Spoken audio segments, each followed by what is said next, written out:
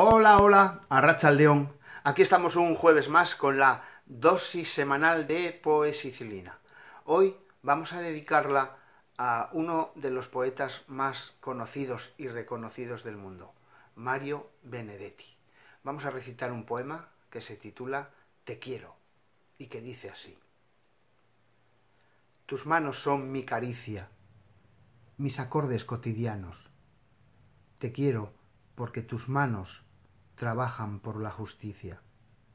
Si te quiero es porque sos mi amor, mi cómplice y todo. Y en la calle, codo a codo, somos mucho más que dos. Tus ojos son mi conjuro contra la mala jornada. Te quiero por tu mirada que mira y siembra futuro. Tu boca, que es tuya y mía, tu boca no se equivoca te quiero porque tu boca sabe gritar rebeldía. Si te quiero es porque sos mi amor, mi cómplice y todo. Y en la calle, codo a codo, somos mucho más que dos. Y por tu rostro sincero y tu paso vagabundo y tu llanto por el mundo, porque sos pueblo, te quiero. Y porque amor no es aureola, mi cándida moraleja, y porque somos pareja que sabe que no está sola. Te quiero en mi paraíso, es decir, que en mi país la gente viva feliz, aunque no tenga permiso. Si te quiero, es porque sos mi amor, mi cómplice y todo. Y en la calle, codo a codo, somos mucho más que dos de Mario Benedetti, el poema Te quiero.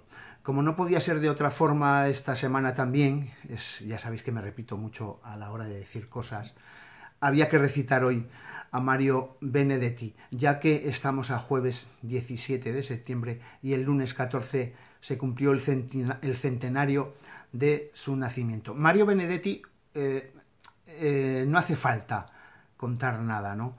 Eh, es uno de los poetas que más hemos recitado durante todos estos vídeos que empezaron allá por marzo, de una parte porque también es uno de los que me gusta y porque es uno de los que me habéis pedido.